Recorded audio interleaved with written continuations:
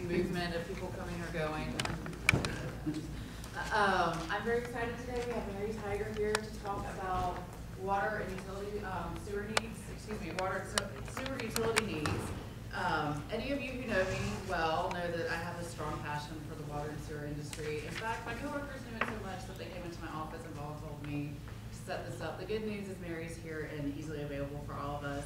She is the Chief Operating Officer of the Environment Finance Center. and her technical work, Mary conducts applied research with local communities on research, resource and financial sustainability. She was the project manager for- and for and primary author of the recently published Water Research Foundation report titled Defining a Resilient Business Model for Water Utilities. Mary holds an MPA from the University of North Carolina at Chapel Hill and a BS in Environmental Journalism from the University of Carolina at Asheville. And with that, I will turn it over to Mary to get going with the presentation. Thanks Karen. So I saw the title of my presentation was Water and Sewer Utility Needs, which is a huge topic. So narrowing that down to revenue resilience in a changing industry, um, which is very important to meet the growing needs of water um, and sewer utilities. So just to get a feel of who all's in the room, how many of you all are involved in setting the budget for your water utility, water sewer utility? Okay.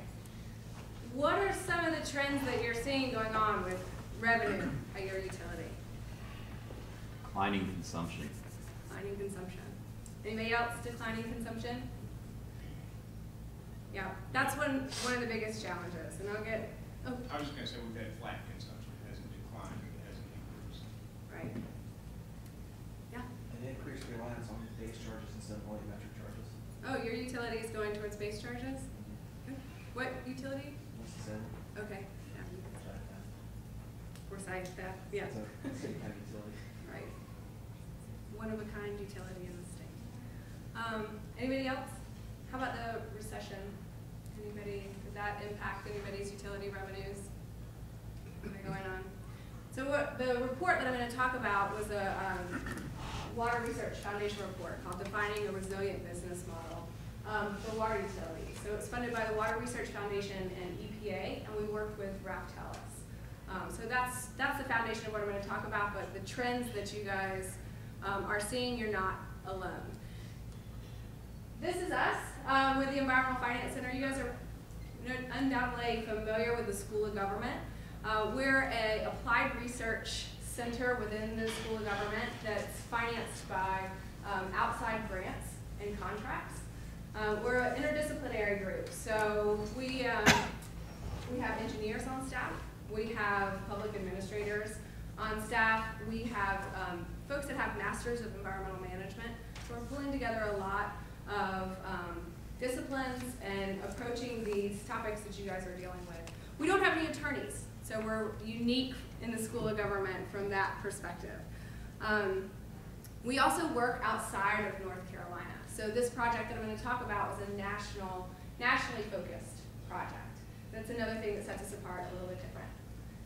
Our mission is that we are dedicated to enhancing the ability of governments and other organizations to provide environmental programs and services in fair, effective, and financially sustainable.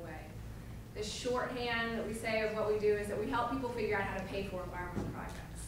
So I work a lot with water and wastewater utilities. We have folks on staff that work a lot in the energy world, clean energy finance projects. We do solid waste um, finance, wetland protection, stormwater management, those types of um, financial projects. And we do applied research, teaching and outreach, program design and evaluation. A little plug, there's a sign-up sheet um, on your table to sign up for our blog. We, in our applied research, we're constantly putting out information about what we're doing.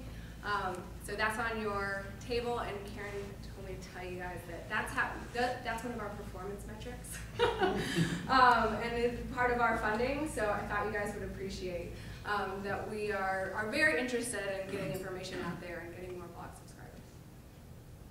So to jump in um, re into revenue resiliency for for water utilities, the report that that we wrote really um, had three major chapters. One is that we focus on trends in revenue and pricing in the water utility industry. North Carolina is heavily um, focused on. It's, a, it's prominent in the report because we have great um, data from the LGC in our annual rate survey. So North Carolina was really one of the states that we focused on, but we also have data from Georgia, Ohio, Wisconsin, and California. And so we're kind of putting the revenue and financial trends in a national context to do some comparisons. We also looked at the factors influence revenue, revenue resilience, consumption, economic recession, and kind of isolated those and looked at them and their impact on utilities um, revenue. And then we closed out with strategies and practices for revenue resilience. And that's kind of gonna, I'll talk to you a little bit through that report. Um, This is one of the many um, charts that's in the report um, that we looked at the annual increases in total operating revenues between years. So how much were utility revenues going up or going down in between years? And we did that for the same 500 utilities across the country. Now these were, this is from Moody's Water and Sewer Municipal um, Database. So it's only the utilities that Moody's rates. Um, so you can think about how that might influence the data a little bit. But what, the reason why I brought this in front of you is that it's pretty bumpy. Um, get to zero over here, you don't see, this is the 75th uh, percentile. So most utilities are in the positive, have been in the positive since 2004. So year to year, their revenues are going up, but perhaps not as much as they were hoping. There are some that, that were dipping. And so through this report, we looked at why. What were the reasons why they were going up and going down? And we isolated a, um, a few um, factors that were really playing a difference. One is service area size and diversity. Um, so the bigger that you are, um, the better buffer that you have in some cases. Uh, water use and weather, economic conditions, those are the two major ones, and I'll get into um, why they're kind of creating this perfect storm for water utilities. Capacity utilization, economic regulation and governance. So in Wisconsin, every utility there has to go to the state, um, take their rate case to the state in addition to a governing.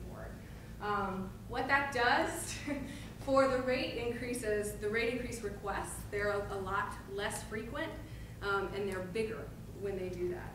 Um, so we looked at that, we teased that apart. Financial management strategies, so internally things you can do, how that influences revenue. And then the role of credit rating agencies um, in that revenue resiliency. We identified four major challenges right now to the utility business model. So there, there's a term I think people love this term, the new normal. You guys are probably hearing it everywhere. So that's, um, this is the new normal for water utility revenues. First is that there's a paradoxical relationship between revenue stability and conservation promotion. Before I um, started at the MPA program, I ran a conservation program for a small water and power utility in Colorado. And I was so excited, wanted everybody to conserve water and, and energy, and I would bang my head against the wall of the finance director's office because he was like, Mary, we don't want you to do a good job. We want you to fail because if people use less of our product, we have less revenues, and, um, and we need those. So there's this kind of conflict, but water utilities want people to use less of their water. Um, we look, um, we are looking at trends with North Carolina utilities, utilities across the country, and looking at this, are, are rates getting more fixed or more variable? In North Carolina, they're getting, they've gotten more variable from 2007 to 2011. We looked at that shift in the base versus variable um, charge that people are sending customers. So these are the utilities who have increased the fixed portion of the bill. These are the utilities that have decreased the fixed portion of the bill. So there are more, and these folks are doing it to a greater extent. So they're increasing the consumption charges um, and maybe not um, fixing or working on the fixed charges. So there's fewer, like Winston-Salem, that are actually increasing the base charges. So just, why is that? Why, why would utilities be increasing um, consumption charges over base charges. It's sort of a fairness issue in a way. I mean, you have a set population that, you know, we're in White County, we've experienced a lot of growth, but you've got folks that have lived in our community forever, and they're on fixed income. So if you increase that base, in essence, there is some thought that you punish those people, and you should really be charging the folks that are using it. So it's sort of a how what we talked about yesterday, what do you value, I guess, kind of. Yeah, so the equity, affordability. Right. What else are, our utilities kind of probably thinking when they're putting more cost recovery into the variable charges? Your goal is to discourage consumption, and you would put more of the cost on consumption. Right, right. And those are kind of the two reasons that we're seeing this kind of trend towards um, increased variable charges. Um, and not only are utilities kind of doing that, but also in North Carolina, we've seen over the past seven years kind of a movement away from decreasing block charges, where the um, variable rate decreases the more you use, and a trend towards increasing block. So moving more cost recovery, particularly into those higher levels of consumption. Which is great when people actually use it, but when you send that message, when you send that signal, and people use less, um, this is what the customers see. So this is a cartoon. We love this one um, because it it does. It kind of illustrates what um, customers feel when you increase the consumption charges. You tell them use less water, use less water. They do, and then the utility has to come and increase rates. Particularly, this was um, during you know on the heels of a drought. So they did what the utility asked them to. They used less water, um, and um, they were punished by the big fat cat utility um, by increasing rates on the back end. This is, they did not look this way, I apologize for this. Um, not look that way on my computer. This is happening, as you guys know, because water utility revenue variability does not match um, the revenue variability. So customers use less, but the costs don't go down. Um, these are two examples from Alameda County Water District, California, and Austin, Texas. We have examples from utilities across the country where we looked at variable costs, really broke down what, what are the variable costs.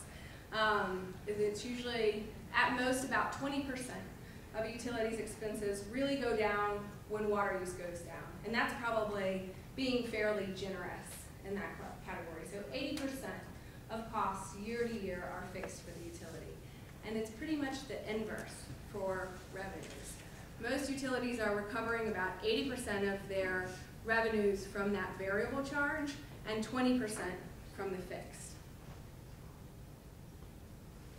That would be challenging for any industry under the best of circumstances. Um, but the water industry across, across the country is not dealing with the best of circumstances. Um, the American um, Society of Civil Engineers gave the water and sewer industry a grade of D um, for the infrastructure. So passing, but barely. I wouldn't be happy. Um, any of our students would D. Um, EPA and AWWA agree that there's a lot, there's a large and looming um, crisis with the um, infrastructure in this country. They, are you guys familiar with the term the Nessie, the Nessie curve? Which shows kind of, it's, the Nessie, you think about the Loch Ness monster coming out of the water, and that kind of exponential growth of the Nessie, of the Nessie's, the monster's neck. That's kind of what the infrastructure needs of this country looks like. It's kind of cru cruising along, and then it's this exponential growth in needs. So that's what the utilities are going to have to be dealing with, increasing rates even more. And so as you have this variability, increasing rates, driving down consumption, you could see how it could get into a bit of a downward spiral um, for the water industry. Tag on that, um, weather and customer demand uncertainty. Um, these are trends from OWASA. Ed Kerwin um, shared with us this data. This is OWASA from 1986 to 2002. Their um, water sales cruising right along um, with customer accounts. At 2002, they were projecting increased water sales. Why wouldn't they? Um, that's, that's what they thought they were gonna be dealing with. But that's what that's what has happened since two thousand two with water sales. Was there a mass exodus out of Chapel Hill? Nope, that's the customer accounts continued to increase. Um, so this is what OWASA was dealing with. What happened? 2002, 2003 drought hit and knocked people, um, people's consumption totally down. They had to. The utility had to ask people to use less of their product. Um, after 2002, 2003, it kind of creeps up, this, yeah, creeps up there. Um, and then the 2007, 2008 drought hit it again. OWASA at this point um, enacted restrictions like many utilities across the state. They also um, applied a drought surcharge, a pretty punitive drought surcharge. At the highest levels, they have an increasing block rate structure, and at the highest levels, it got up to 50, a little over $50 per thousand gallons. So that's what people in the highest levels of consumption were paying per thousand gallons. And people got that signal. They didn't like to be restricted, as any of the customers. They didn't want to be restricted, and then they got a financial signal. Um, and they got such a financial signal that they made significant changes. So you kind of hit people with that, and they don't just change their behavior, but they actually invest in personal infrastructure that's going to take their water use down forever. So they'll either totally re-landscape their yard, they'll get a new irrigation system, they'll do something to not um, have to pay that. So we call that the drought hangover. So you see that coming out of the 2007-2008 drought. One of their customers that got the biggest signal, um, more so with not wanting to be restricted, was UNC. And UNC decided, we're gonna start using reclaimed water on all of our fields. And they, we're gonna invest in that infrastructure, we're gonna do it, it's exciting, OWASA is very excited about it, but you can see what it has done to their water sales. So managing your revenue in that kind of situation when you're you know, really relying on variable revenue, it's, it's really challenging. Um, you guys heard it, um, this is what's happening across the country, is that it's not just in times of drought that people are using less water. People are just using less water across the board. The energy um, industry is not dealing with this because there's always new, like iPhones, iPads, new reasons to use power. They're not dealing with this kind of um, decline in use. They're seeing some efficiency, they're promoting some efficiency, but we're not coming up with new way, new things to do with water. We're actually finding ways to do what we currently do with water with less water. Um, and that's what a report found that was released in 2011. They did a study in um, Louisville, Kentucky, and they found that a household in 2008 used about 12,000 gallons less annually than an identical household did in 1978. So 1,000 gallons less a month for every single household. And we're seeing that in North Carolina. We used to say 5,000 gallons per month is the benchmark. That's the average household water use in North Carolina. That's what we used for our dashboards that I'll bring back up. We use that in a lot of our reports. Now it's looking more like 4,000. That's kind of the benchmark to use is 4,000 gallons per month is what the average North Carolinian uses in water. And the reason um, gosh, is um, controlling for weather, controlling for people in the household. So um, people in households is usually going down, so that would contribute to a decline in water use. Um, education, as education goes up, um, that usually accounts for a little bit of decline in water use. Um, average home value, as home value goes up, water use goes up. Home size, as that goes up, water use goes up. So all of those have little tiny impact on um, customer household water use. The biggest one is increased installation of low flow appliances. This is not because of a rebate program that the water utility have. This is mostly attributable to the 1992 Energy Policy Act that changed the hardware that was sold um, in houses. And that high efficiency toilets, you can't buy a 3.5 gallon um, toilet anymore. It's 1.6. You can get a 1.28. You can get a 1.1, I think, even now. But you can't go below um, one point six at all. So as the infrastructure gets replaced, um, water use is continuing to, to go down. We got a group of um, water utility CEOs from across the country and just asked them, what is this, you know, we, we didn't say declining um, water use, we didn't, we just said, what, what are changes in water use doing to your revenues? Overwhelmingly, they said a large, having a large negative impact um, on our revenues. This is really weird, I apologize. I'm gonna fix this. Two seconds. Um, the key findings from the report is that um, the past five years have really been trying for the water industry. So they've seen it's you know kind of a perfect storm of the economic recession combined with the water use infrastructure getting completely changed out. Water use is on the decline. And then in order to raise sufficient and predictable revenues in the future, water utilities really have to kind of start rethinking their business model. And that's what I love about being at the EFC is that I don't work for a consultant. We don't have to do what, you know, what is politically feasible in the near term. We can kind of play with some ideas and push the envelope a little bit. Um, and we identified strategies and practices for revenue resilience. Some of these are completely politically feasible and great ideas to go ahead and start doing now. Um, some of the ones, the one I'm going to end up talking about, the alternative rate designs, we're seeing that as a very kind of nascent idea. It's a fun thing to talk about right now at conferences, um, and I'll give you guys some, some insight into the models that we're. But the, the strategies that we identified were demand projections. So just starting to get realistic with, um, with what you're projecting for water use. Really kind of looking at the trends nationally um, as well as locally. Um, I think we have a, a blog post that said, water rates don't break budgets, bad projections do. Just getting a lot smarter with the projections. I know you guys have been talking about, you know, using data and really looking at customer changes in household water use, not just on the aggregate, but looking at those trends and tracking individual household trends over time. Um, the alternative rate designs, which I'll talk a little bit more. Rate stabilization reserves, so rainy day funds.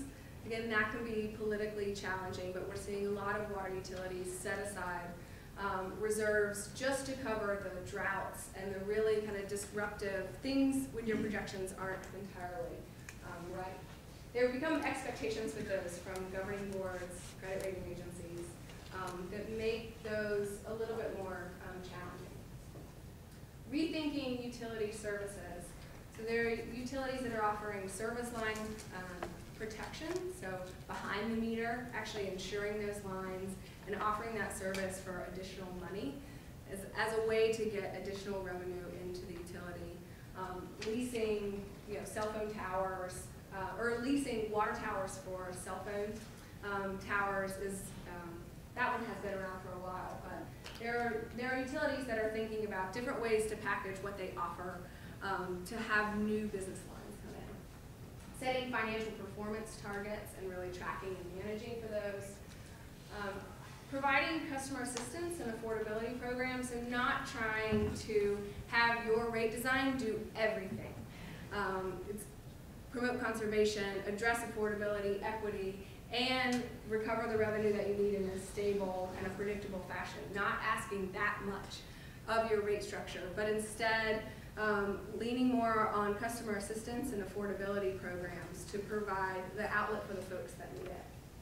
And rate adjustment approaches, so using um, CPI to um, at least annually have a CPI um, adjustment to your rate structures or multi-year rate increases. So going before the board once and saying, here's what we need for five years, um, are some things that we're seeing for utilities to move towards revenue resilience. So I'll spend the last bit of time, any kind of questions or comments about that? Well, I have one comment too. In addition to the droughts that everyone's well aware of, we had even years without droughts, several really hot summers over that period of time. And so I think what we've seen is a shift in people's landscaping decisions because of, you know, if it's ninety-five instead of eighty-five, it takes a lot more water to keep then you have a rainy summer. So a couple summers ago, it was very rainy, and that's just as detrimental. Um, so it's that kind of peaky behavior um, that is that is really what water utilities should be targeting for the use. It's not the the big household that has you know eight people living in it and consistently using a lot of water, um, but it's the people that are on again, and off again. Um, they want their water when they want it now. You have to build your capacity to meet that demand, but then it rains and they don't need it. Um, and then they're not, with that over-reliance on the variable charge, then the utility's not able to really recover that 80% of their costs that are fixed in the short term. That, that was a good segue into these alternative rate models. And that's kind of the um, idea that we had in setting up some of these models is how can pricing better target that peaky behavior and not just the big um, consumer? So we have one called the peak set base model. That was really inspired by demand ratchet rates for energy utilities. The energy utilities for large commercial industrial customers have demand charges. So when whatever moment a large customer is using their most, there's a charge applied to that amount, and then that holds true for the next year. So you have, you're making a payment based on your peak consumption. Um, that's what, that's the inspiration for the peak set base model. There's actually a utility, um, it's kind of a sad case study to bring up now, but I think we can all learn from what they um, went through. In Davis, um, California, they have a consumption-based fixed, or they proposed a consumption-based fixed revenue water rate um, that was based on customers' peak. That actually failed the number of, it, it made it through Proposition 218, which in California, if water utilities want to increase rates, they have to take it to a referendum to the people. Um, it passed 218, but then it got challenged um, in court, so it just recently got shot down. The customer select model, I'm not supposed to say this because people apparently don't like their cell phone plans, but it's inspired by the cell phone plan. And I'll get into um, a little bit more of the structure of that. And then a water-wise dividend model, which was inspired by REI. So turning some of that revenue around um, at the end of the year, as long as you meet financial targets, turning it around to customers and giving it to those that were water-wise. It's not completely unprecedented. DC Water last year um, cut a check to all of their big users. So they did it inverse of what we would like for them to do. Um, instead of cutting a check to those people that were um, stewards of the water, they turned it around and gave it to the people that were the biggest um. So we have a video. I came in here and realized there's no um, speakers, so I can't show you the video. We do have a, a whiteboard video um, that we developed that kind of in 10, less than 10 minutes, kind of talks about these challenges to the um, water utility business model and discusses these rate structures a little bit. Um, we developed them for water utilities to use um, in having this conversation with their governing boards about um, revenue resiliency, revenue variability. So I do encourage you guys to, to locate that and look at that. Um, I'm not going to play it for you now, but I'll bring you, there's a few snapshots um, here, and I'll use those to explain each one of these models. So this is the peak set base model. Again, it's looking at, it's using, um, building more cost recovery into the fixed charge, less into the variable, but doing it in a way that still promotes wise water use, um, still taking into account a customer's consumption. So under the peak set base model, um, you would look at a customer's historical demand, look at their month of highest consumption. So for this lady, it's right there in the middle of the summer. Um, she's using the most water to water her lawn. So you snapshot that monthly consumption and you apply a rate to that consumption or to set the fixed charge for next year. Um, actually in a way to kind of mitigate against drought years, rainy years, you would actually take the, you would average, the three-year rolling average is how we're modeling um, of the peak. So you take the past three peak years of consumption, average that, use that to set the fixed charge. There's Oh, yeah. Question.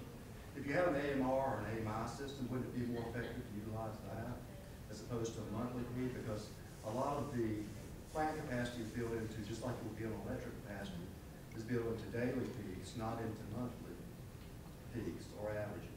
Yes, So wouldn't it be much more effective to use an AMI or an AMR system it would be. to determine that?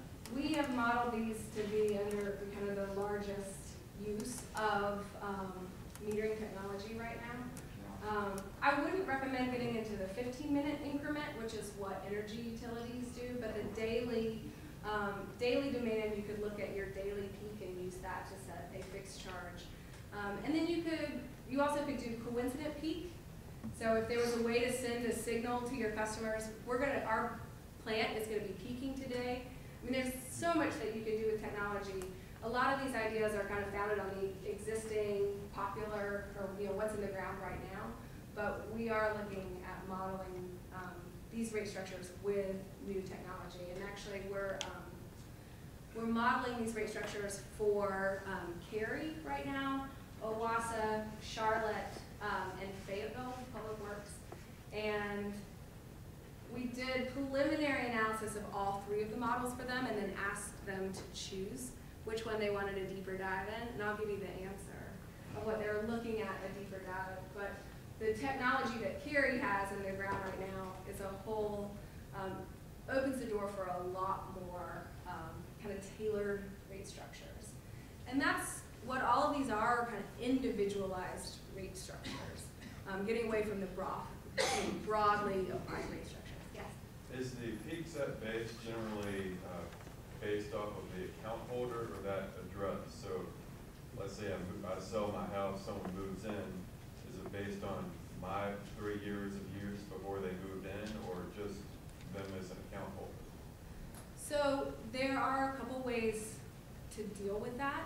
Um, what we are thinking about in modeling these, again, no, nobody's applied it, but to do a kind of um, tax settling up at the end. So to give people, here's the best guess of what your peak is going to be, um, and then doing some sort of settling up at the end of the first year. Um, but it would be, it is at the household level. We have modeled, we've looked at doing these for, um, at the meter level, but we find it makes the most sense to model them at the premise level. So combining the irrigation meter with the standard meter, um, is really gonna target that kind of peaky outdoor behavior and kind of combining that consumption. So these still have a, so the, the challenge with this kind of model is this delayed react, delayed pricing signal. How are people gonna respond? We don't, we don't really know. We're really interested in kind of talking to people about how they understand these rates, how, what they think their reaction would be. Um, but we do know that it is gonna be a delayed pricing signal. The decisions that you make this month are gonna impact your rate for three years to come. Um, and we're just not quite sure what that's gonna do to customer demand.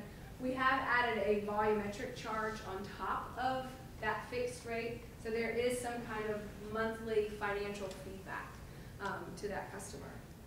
What, what would you do if you found a leak that was undetected at a certain number? Same thing that you do now, um, kind of do, do an evaluation and kind of settling up. I mean, there's lots of bill adjustments. You would just have to go back, in addition to adjusting the bill, you'd have to adjust the consumption, um, which most utilities don't do. They adjust the bill, but if you're looking at consumption trends, um, the leaks are not usually taken out of that data.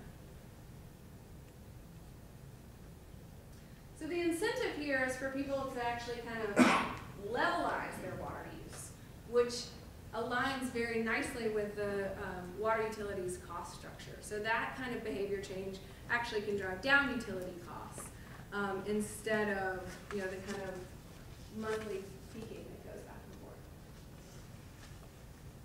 Customer select um, is the second model that we are modeling. Um, the easiest way to explain this is it's like your phone plan. So you have a not to exceed limit, you lock into a fixed monthly charge um, based on an allotment of water use. And if you go above that, you have a pretty punitive, um, variable rate that's applied to consumption, but as long as you stay below that level, um, you have a fixed rate, um, across the board. So you could have three plans, we're working, you know, do you have lots of plans, do you have few plans? Um, how does that impact it? One question here is, how do you know what plan people are gonna choose? Um, you know, are people gonna go with their average water use and kind of deal with those extra overage charges, um, in the summer months? Or are they just gonna wanna fix it and forget it? Are they just gonna wanna choose a plan that locks them at, they're never gonna go above, they'll know what their rate structure is from month to month?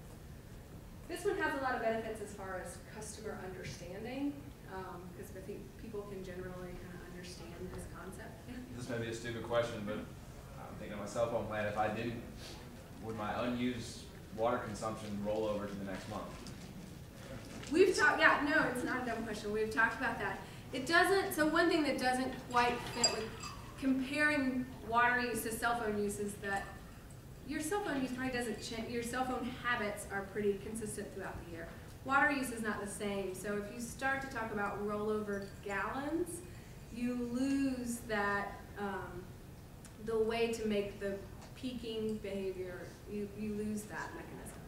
Um, so we have not modeled it with roll, rollover.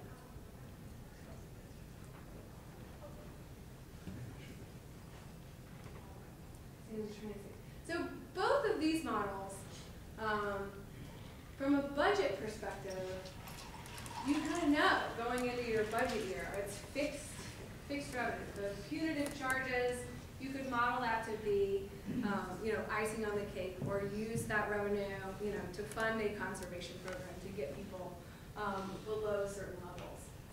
So from a, from a budgeting perspective, the water-wise dividend model is also kind of a nice, um, model in thinking about it on the front end.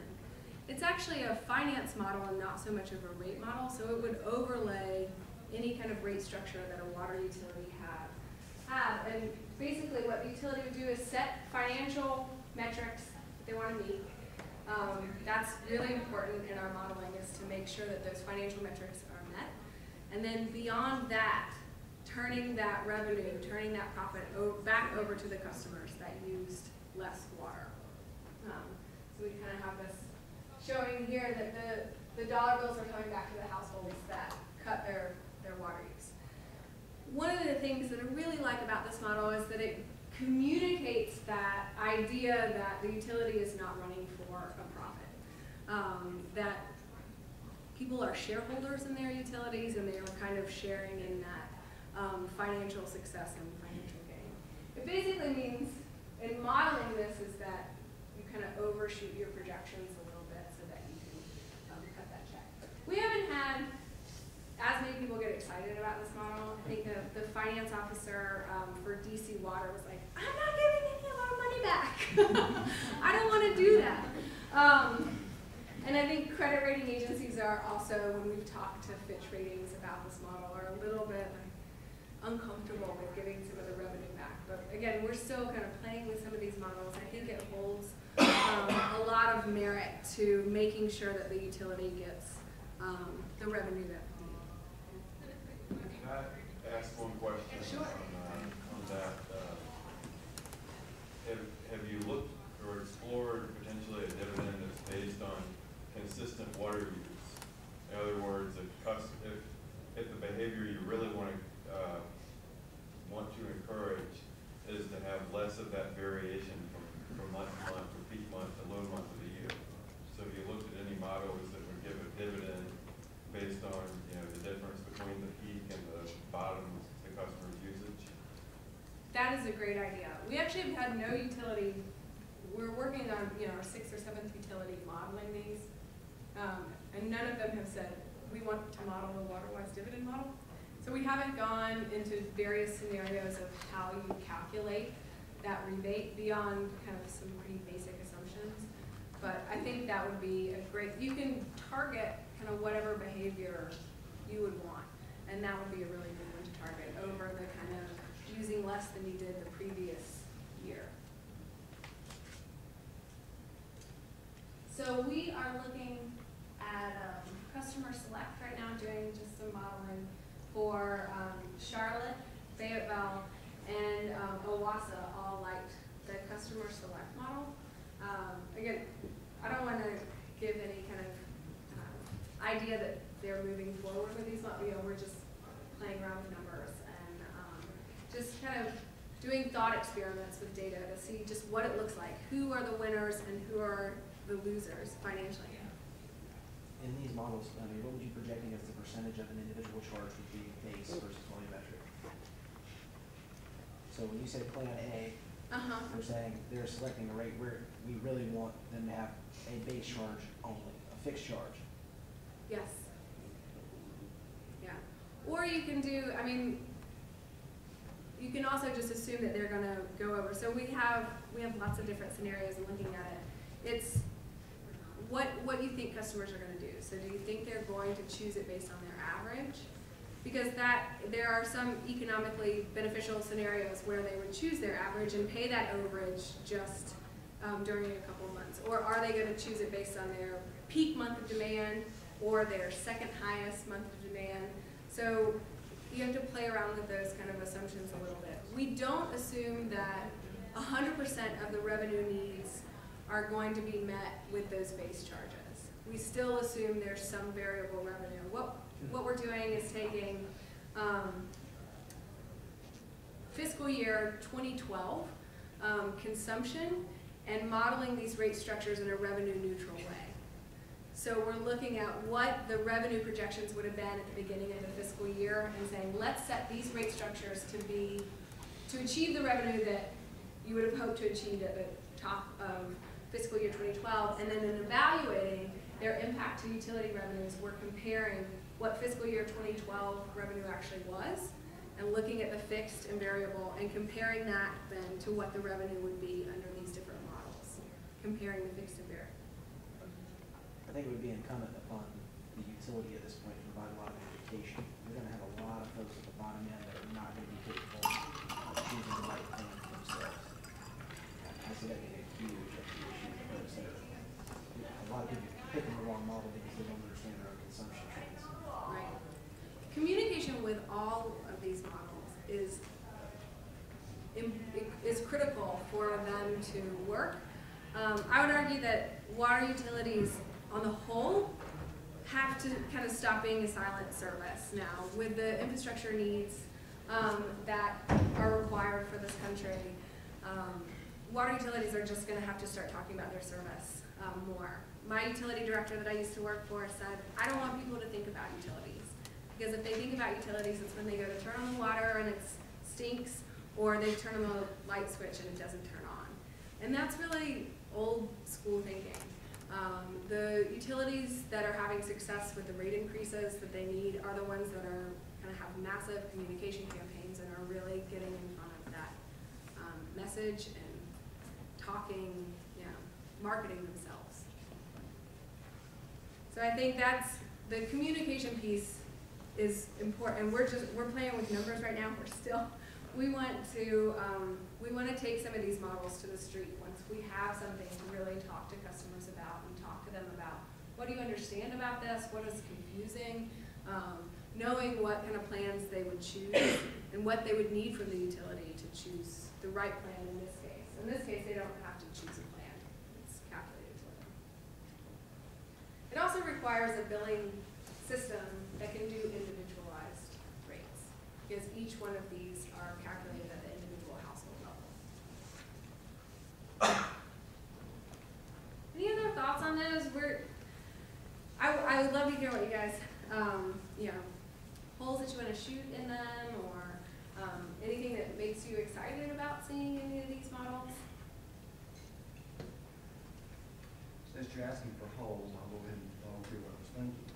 Uh, since you're comparing it to telephone companies and telephone and cell phone plans, the thing that, uh, a lot of these companies are moving away from plans like this, uh, to show unlimited plans, and if you think about it, the thing that upsets customers more, so I would caution against a cell phone plan that you have all these overage charges on, which is what you're proposing in that for, for water, potential water.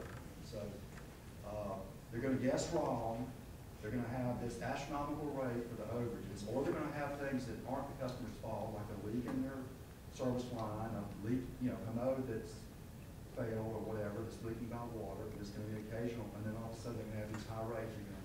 I think the complaint rate will go up, or potentially, that would be a downside to that model.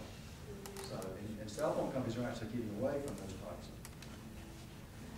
Also, since your question was about, I, I agree with you, that's, that's something that needs to be thought about and, um, and considered, and it's an immediate, I think the way that Cary, in talking to them about these models, the way that they interpreted it was, it's an, it's a, it becomes a matter, it's an emergency. When somebody gets that really large bill, it's, an- immediate thing that must be met, yeah, immediate issue that must be addressed, as opposed to peak set base where it's kind of delayed, um, reaction. That's one of the reasons why they chose to look deeper at the peak set base model, is that they felt like that, the customer, um, service aspect of that was gonna be challenging. And that was even with, we talked to them about the use of their, they have AMI technology, and they commu, they can communicate with their customers, um, four times a day about their water use.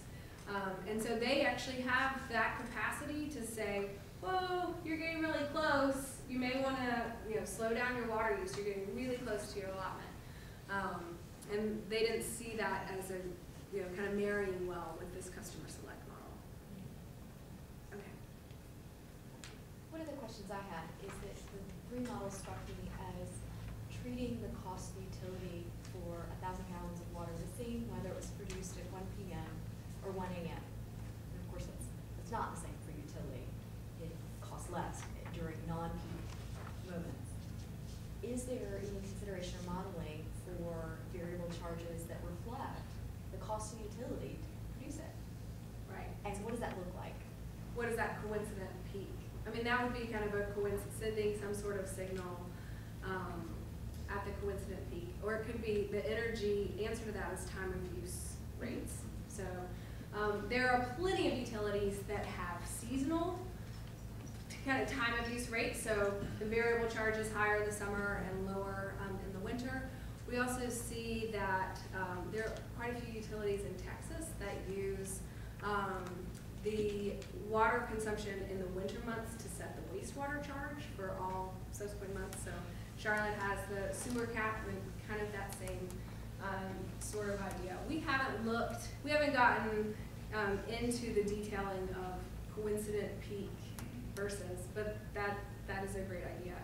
I think these models get a little bit more towards the matching the utility cost structure, um, in targeting just peaky behavior in general, um, more so than the uniform rate structure that's applied now, um, or the increasing block rate structure.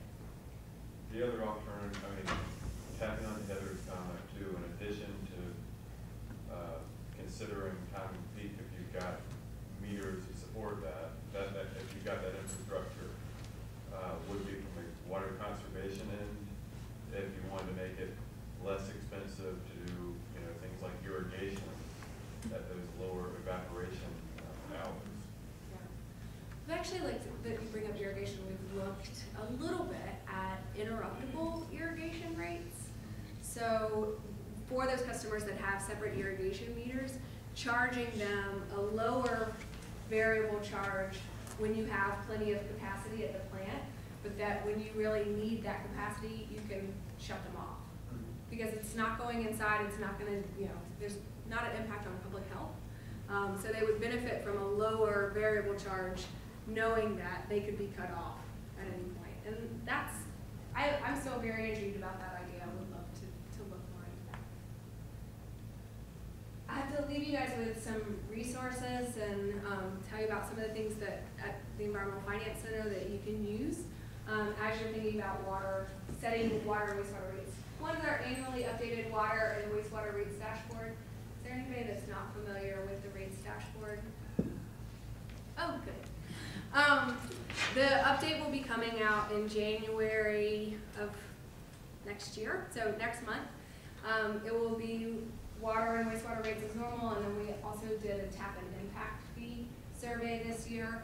Um, so be on the lookout. Hopefully that's good timing for your, um, budget needs. Um, and then we also have the report that goes along with it. Um, our dashboard, here's a look at it and a way to use it that you may not have thought about in considering this base versus variable revenue is that one of the things that I like to do is to take the dashboard down to the zero consumption point, and that allows you to compare base charges. Um, our dashboard has a little bit of a different look as of yesterday, because we're using HTML5, so you can use it on your iPhones now, you couldn't do that before, it was flash-based. Um, but it should look mostly the same. We also have a tool that's an assessment of fixed versus variable charges and revenues for North Carolina utilities. So it has all of North Carolina utility rate structures built in there, and you can benchmark at every consumption point how your base versus variable revenues compare across the state.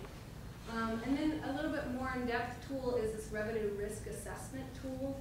Um, it takes a little bit of time, but it allows you to compare two different rate structures and the revenue vulnerability associated with those two rate structures. You have to put in quite a bit of data about um, consumption levels across different, or the number of customers across different consumption points. But it does some pretty good modeling, and, and the foundation of that tool is North Carolina utilities. Um, so a lot of the weather assumptions are there. And then there's a report where we apply. So, All right, in the interest of time, I could go on for days on this topic, and I think some of you probably could too, but I think we'll be around a few minutes afterwards. I will. If anyone wants to ask questions, but please join me in thanking Mary